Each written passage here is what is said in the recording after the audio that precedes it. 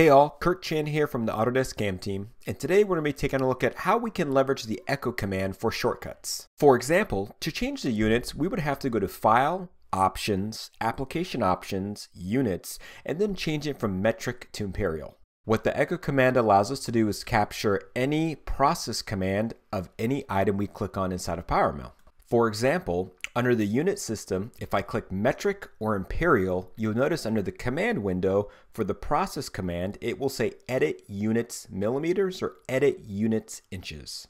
Now knowing that command, I can create a custom icon which will allow me to flip between inches and millimeters on a shortcut menu. Speaking of shortcut menus, you can actually create your own shortcut ribbon by right clicking on the top ribbon and creating a customized ribbon. Once you create your custom tab, create a new group, and from here, rename it to change to inches. Next, you'll create a customized button where you'll name it inches, and within the command line field, you'll take that process command, edit to inches, and paste it there. You could always pick a sample icon or upload your own image or even better yet, not have any icon whatsoever. Once it's created, it'll pop up on your custom shortcut tab. And from here, once you click on it, you'll notice at the very bottom, it'll change from millimeters to inches.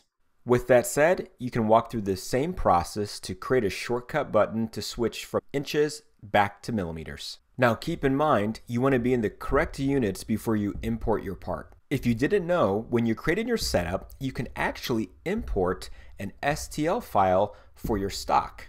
For example, when I'm modeling in Fusion 360, I'll not only model my parts, but the actual stock I'm going to be using to cut my part. I'll bring that modeled stock over into PowerMill and use the work plane positioned using setup stock to apply my WCS and set my G54 easily. And then from here, you can always go ahead and edit the work plane and swap the axes so you can have X, Y, and Z in the correct location.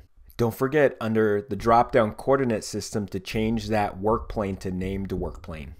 Lastly, if you're ever curious on where to get all these wonderful vices to use in your setup, within Fusion 360, under the data panel, and under the folder called CAM samples, there's a subfolder called work holding. We've partnered with multiple work holding companies, and within there you'll find CAD models to all their vices. These libraries will continuously grow as we update Fusion 360, so feel free to use any one of them. With that said, hopefully you found this quick tip tutorial helpful. If you liked the video, click the thumbs up and look forward to many more to come.